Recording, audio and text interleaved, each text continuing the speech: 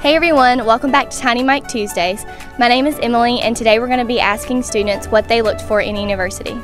Um, I looked for just a biblical community of people who would lift me up and just um, that I could lean on in times of struggle or times of um, joy and just do life with. The great piano program that's offered here.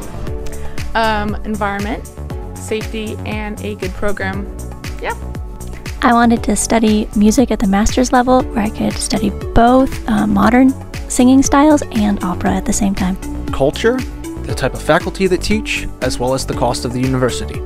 The thing that I look for the most, and the reason I came to the University of Mobile in the first place, is because of the Christ centeredness. Um, a good nursing program. Well, it happened to be close to home. That was nice. Friendship. Good sports program and furthering my education.